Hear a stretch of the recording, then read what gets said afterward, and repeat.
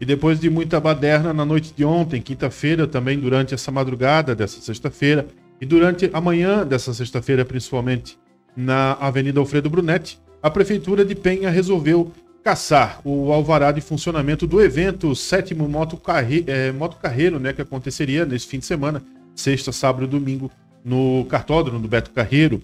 Bem, a justificativa foi a baderna, né, a bagunça ao redor do evento que estava aí poluindo é, sonoramente toda a cidade, além de estar colocando os municípios em risco. A matéria na íntegra e esses vídeos também na íntegra você acompanha no nosso portal. Para você que está no Facebook e no Twitter, o link fica logo aqui acima do vídeo. Para você que está no YouTube, o link fica abaixo, abaixo né? E para você que está no Instagram e no TikTok, o link do nosso portal está na bio. Lá tem as informações completas e também os vídeos na íntegra. Então, a gente volta a qualquer momento.